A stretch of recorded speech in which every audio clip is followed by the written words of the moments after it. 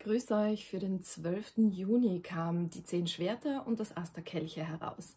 Das bedeutet, dass ein paar von euch eine sehr, sehr starke Verletzung erfahren haben. Ihr wart traurig, ihr hattet vielleicht Liebeskummer, es gab vielleicht eine Trennung von einem Partner, einer Partnerin, vielleicht sogar von einer besten Freundin, einem besten Freund.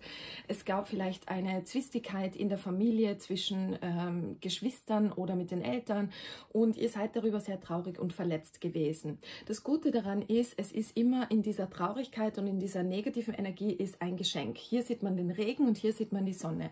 Das heißt, ähm, das ist ein Geschenk Gottes. Leiden ist grundsätzlich ein Geschenk Gottes, weil wir darin nicht nur äh, Stärke und Resilienz entwickeln können, sondern wir können sehr viel lernen über uns selbst und andere Menschen. Das heißt, bitte, auch wenn es dir jetzt noch nicht möglich ist, irgendwann wirst du es sehen, dass das zu deinem Besten war und dass diese Leute vielleicht aus deinem Leben haben verschwinden müssen, weil sie einfach nicht fähig waren, dich zurückzulieben, so hart es auch ist im ersten Moment. Moment.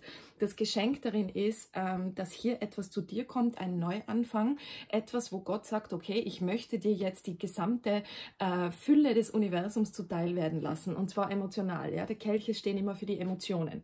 Ähm, während wir hier das Gefühl hatten, wir sind mit einem Messer sozusagen in den Rücken irgendwie gestochen worden. Ja, jemand ist dir vielleicht wirklich in den Rücken gefallen, jemand hat dich betrogen, jemand hat nicht Wort gehalten, jemand hat vielleicht nicht das gehalten, was er versprochen hat.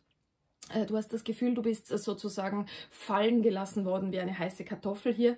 Und hier sagt Gott, schau, aber ich schicke dir gleich ein neues Geschenk. Das heißt, es kann sein, dass gleich nach dieser Trennung du wieder einen neuen Partner oder eine neue Partnerin findest. Es kann sein, dass du dann plötzlich Geld im Lotto gewinnst. Es kann sein, dass du dann plötzlich die ideale äh, Arbeitsstelle findest, was auch immer. Gott schenkt dir dafür etwas anderes. Ja, Das heißt, halte deine Augen offen nach dem, was dir geschenkt wird nach dieser Trennung und nach diesem Herzschmerz. Ich hoffe, es hat geholfen und bis bald. Tschüss.